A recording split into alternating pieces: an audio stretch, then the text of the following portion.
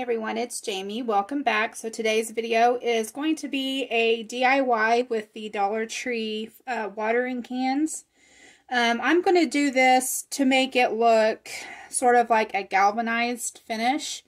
And um, if you get the other colors, because these do come in different colors, and I just got the gray one. If you get the gray one, you won't have to worry about giving it a base color of gray since it's already gray. But if you happen to get the ones that are different colors, um, you're probably going to want to paint that um, as a, a gray base first. So, but since mine is already gray, I can by I can just bypass that step and move on to the rest of the painting. So um, all I'm going to be doing is just be adding uh, different colors of paint on here, just dabbing them on with um, one of these sort of like chip brushes that I got from the Dollar Tree. So um, I'll be using that and just dry brushing uh, paint on. And I'm also going to be using some of the Waverly Chalk White paint. I'll be using some of the Apple Barrel uh, paint in black. Um, I'm also probably going to be using some of this Waverly, um, it's chalk paint, and this one is in the color Steel. And then I may go ahead also to give it sort of a rusty look in places. Um, I'm I may try to use some of this Apple Barrel Barn Red paint. I'm not really sure if I'm going to use this yet, so just make sure you stay tuned. And I also will be leaving a materials list down in the description box so that you know everything that I used. Um, so yeah, this should be fairly simple and easy, and um, I'm going to go ahead and get started. Okay, so for my first step, I'm just going to be adding um, a layer of the white Waverly chalk paint, and you don't want to get a whole lot of paint on your brush, just a little bit.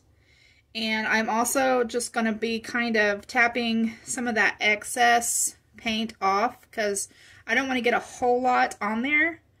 Um, anyway, then you're just going to go in and you're just going to start dabbing all over.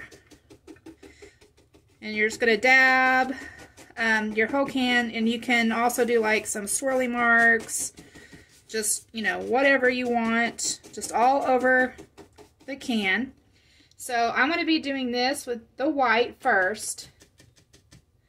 And um, so yeah, I'm going to go ahead and continue doing this all over. And then as soon as I'm done with that, I will come back and I will show you what the next step is. Okay, so now that I have the first layer of the white chalk paint just kind of stamped all over, I did kind of go um, on the inside just a little bit, but you don't have to do that if you don't want to. Um, but yeah, so I just did this all over, even on the handle. And then next I'm going to go ahead and go in with some of the black apple barrel paint. And um, I am doing this just with a, a dry brush. So I'm not going to wash out the white paint that's already on here. I'm just going to go ahead and continue um, dipping into the black. So um, I'm going to go ahead and show you guys how I do that. And it's just the same way as you did the white chalk paint where you're just kind of dipping your brush um, into the black paint. And uh, you want to dab off as much of that paint as you can get but still leaving some on your brush. But you don't want to have a big old blotchy spot um, of black paint. So I'm just kind of dabbing that off a little bit. And then I'm just going to go back in and do the same thing that I did with the white, just dabbing all over the watering can. So this is what it looks like with the black paint, just kind of dabbed all over. And so next I am going to add some of this um, Waverly chalk paint, and this is in the color Steel. So I'm just going to be doing the same exact te technique where I just dab, dry brush uh, the paint on to the watering can. And I'm still using the same brush. If I can get the paint out. okay. So all I'm doing is just the same thing. I'm just taking the gray paint and I'm just dabbing my brush in there, trying to get off as much of that as I can.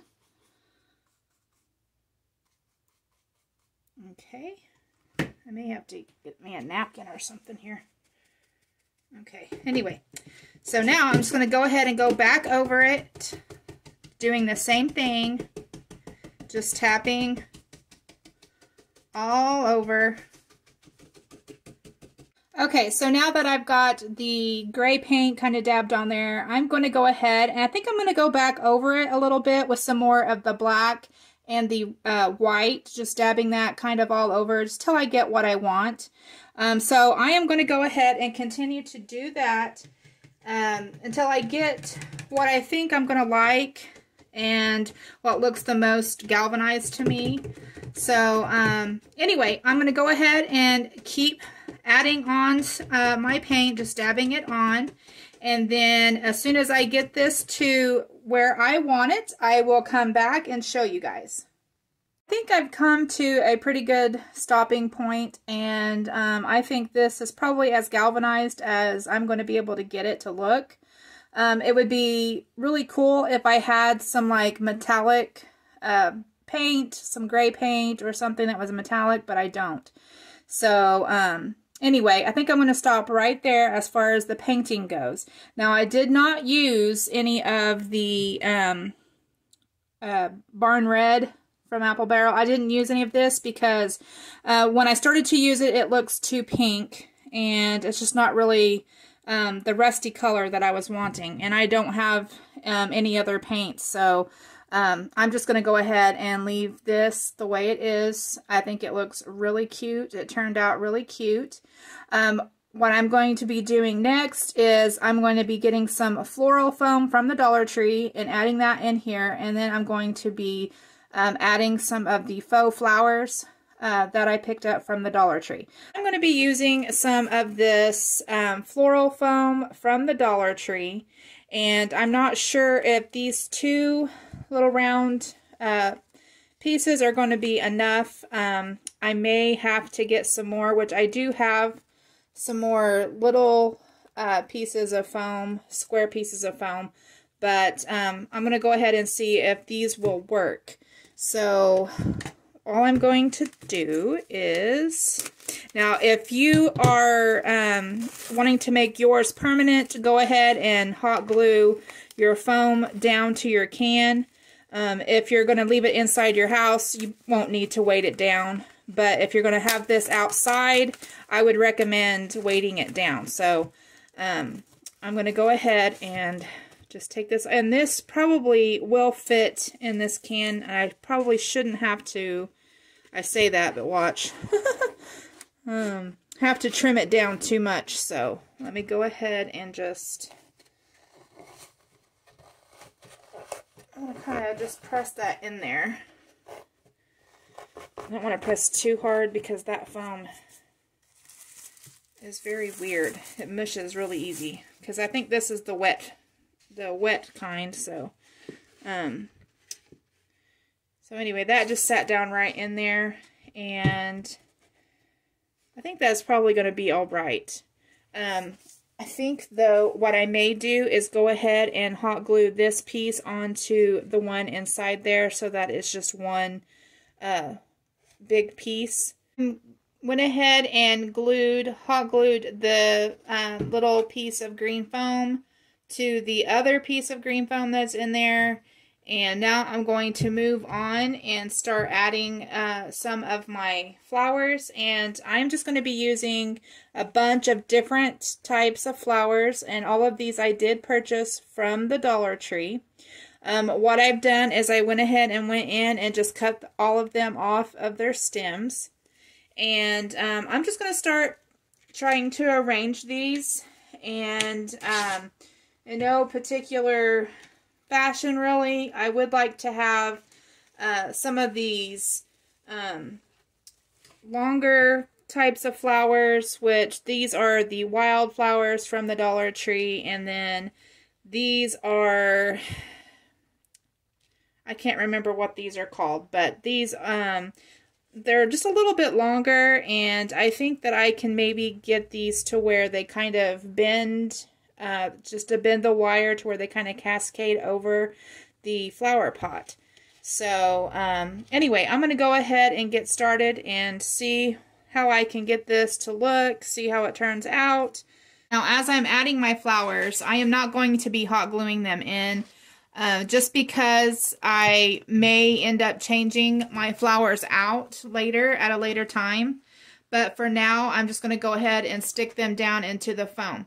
Now, if I feel like my flowers aren't going to be um, tall enough, I may add another piece of foam just to give it more height. But for right now, I'm just going to go ahead and start adding my flowers.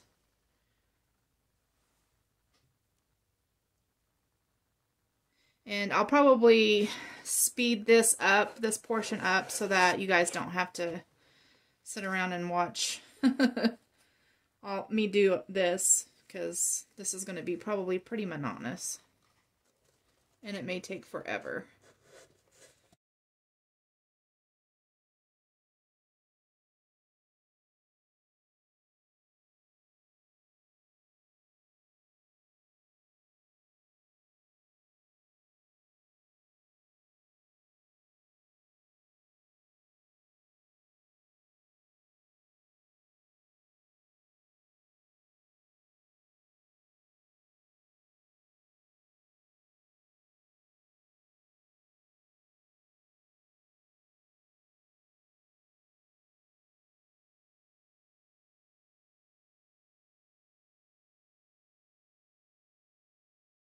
Okay guys, so this is the end of this little tutorial here. Make sure that you stay tuned till the end so that you can see pictures of what this looks like. I'm going to try and move my camera back so that you guys can kind of get a better view of this. But I think this turned out really, really cute. So I know at right now it's kind of hard to see it, but I will post pictures so that you can see what this looks like. So, yeah. Anyway, I think that this turned out super duper cute and it's really pretty and it makes me happy to see all the yellow flowers in there. So anyway, I hope that you guys enjoyed this video. If you did, please give it a thumbs up. Please subscribe if you haven't already because I would love to have you. Hope that you all are having a wonderful day. I wanted to thank you all for watching and I'll talk to you all later. Bye!